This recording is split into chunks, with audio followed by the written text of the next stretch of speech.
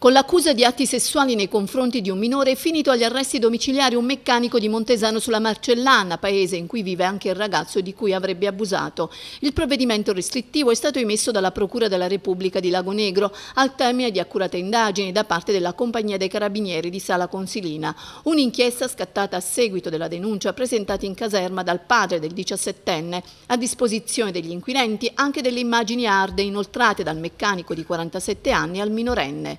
L'episodio finito sotto inchiesta risale ad un mese fa. Il ragazzino si è recato in officina per controllare il suo scooter. Dopo la riparazione l'uomo, celibe e incensurato, ha invitato il 17enne a prendere un aperitivo. Usciti dal bar, invece di dirigersi verso l'officina, il meccanico, alla guida della sua auto e con al fianco il ragazzino, si è fermato in una zona isolata e l'ha costretto a toccargli le parti intime. Dopodiché l'ha minacciato per evitare che denunciasse tutto. Successivamente l'uomo ha inoltrato mostrato al minorenne foto di organi genitali maschili e per spaventarlo lo avrebbe investito mentre era in sella al suo scooter provocandogli delle lesioni.